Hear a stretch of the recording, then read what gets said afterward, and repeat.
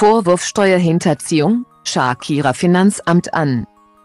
Shakira, 45, ist wütend. Die Sängerin muss derzeit viel Leid ertragen. Nach elf Jahren Beziehung hatten die Kolumbianerin und Profifußballer Gerard Pique, 35, sich im Juni getrennt.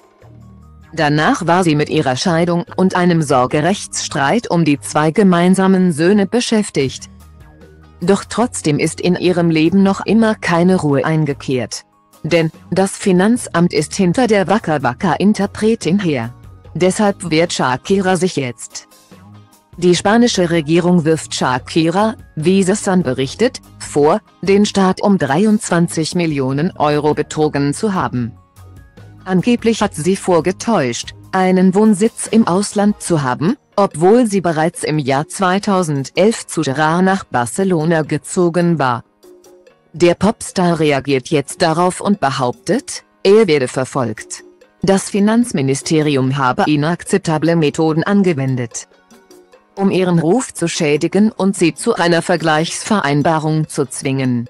Der wolle die Zweifachmama aber nicht zustimmen und stattdessen in einem Prozess vor Gericht ihre Unschuld beweisen. In der Vergangenheit soll die Musikerin der spanischen Steuerbehörde bereits 3 Millionen Euro gezahlt haben. Will The Sun wissen. Sollte die 45-Jährige den Staat wirklich betrogen haben, würde ihr eine achtjährige Haftstrafe drohen.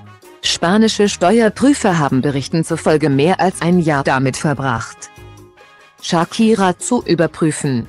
Sie seien zu dem Schluss gekommen, dass sie sich 2012 242 Tage, 2013 212 Tage und 2014 243 Tage in Spanien aufgehalten hatte, bevor sie in diesen drei Jahren in sechs Fällen des Steuerbetrugs angeklagt wurde